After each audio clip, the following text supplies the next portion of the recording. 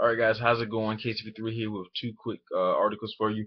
So originally, uh, next couple, last couple hours, it was confirmed that uh, both uh, Far Cry 4 for the PS3 and the PS4 will have bundles to it, and it's actually coming out for just Europe. I did some research on it, and it seems like these two bundles uh, for the PS3 and PS4 for Far Cry 4 that comes out in November 18th is only going to be in Europe. So if you're in Europe and you're, you know, want to get a PS4 or you you know want to get PS3 and you want to get Far Cry 4, you know, along with it, you know, you plan on getting Far Cry 4, you can get it, you know, kill two birds with one stone with the bundle, saving you some money. Um, I have no idea if this is actually going to be global wise, if it's you know this bundle or if other territories are going to have this bundle as well, like China, Japan, New Zealand, uh, North America, you know, States. Um, but you know, we just gotta wait next couple probably hours, weeks, days, you know, probably month to actually find out, you know, if other territories would get the same, you know, same treatment of bundles like uh Europe has. Uh, it seems like Europe is having a lot of good bundles. You know, I think the last bundle that they had, I think it was Drive Club. Uh, they had something exclusive for Drive Club with the bundle for the PS4. Uh, I think it was Drive Club, either that or I think it was Infamous or some other game around that line. I got to do more research on that, but yeah.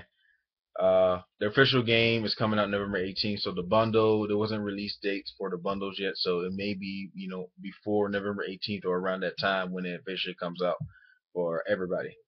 Uh, and also, The Evil Within has gone go, which means Bethesda is done with it. It's ready to be shipped to stores. This game was originally supposed to come out last month in August, but got pushed back to October, which seems pretty cool because it's filling with right there near the Halloween theme. So it's right there, and uh, it's coming out for different days for depending on your territory.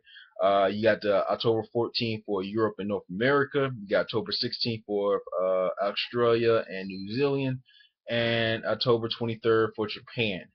Uh, so this game right here, this may be my game of the year. I think I said this a couple of times before in my other videos. This based off me being a very big, big, big Batman fan, and Batman Arkham Knight got delayed to 2015. Uh, and it's going to, be for next gen consoles. Uh, my second guess would be Evil Within. Uh, I definitely want to get back into survival horror. Never really was, never, never really gotten to it.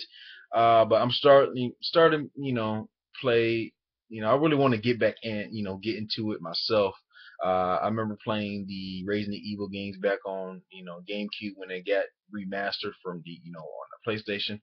Uh, you know, I played the very first Dead Space uh, Dead Space game before you know it got kind of uh, mixture with a whole bunch of stuff with more combat, more action wise than actual survival horror. And uh, yeah, just games like that in general, I just want to you know get back into. You know that that and stealth games is pretty much what I'm trying to get into, and uh, you know try to explore a little bit outside of my little bubble what I usually be playing.